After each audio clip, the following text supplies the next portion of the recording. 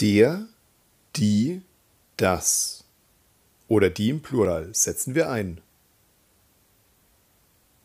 Die Brille.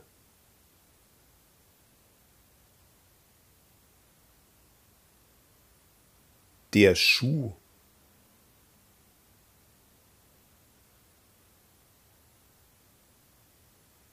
Die Nase.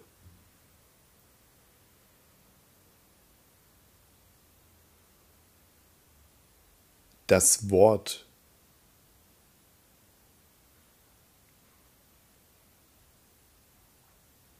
Die Sucht.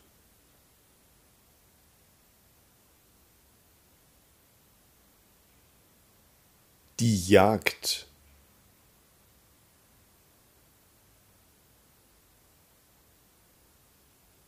Der Bau. Und noch einmal. Die Brille. Der Schuh. Die Nase. Das Wort. Die Sucht. Die Jagd.